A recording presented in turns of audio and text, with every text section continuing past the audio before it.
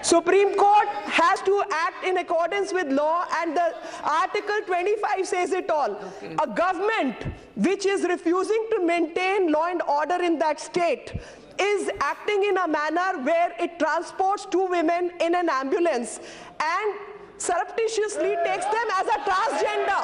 As a transgender. One person has died. One person has died because of stone pelting State government is squarely responsible for their death. Guru Swami, Guru Swami's four of four of those uh, worshippers have committed suicide. You are actually doing things to uh, provoke community, you are leading to a particular anarchical form. Ritualistic practices practiced by certain religious groups need to be left alone.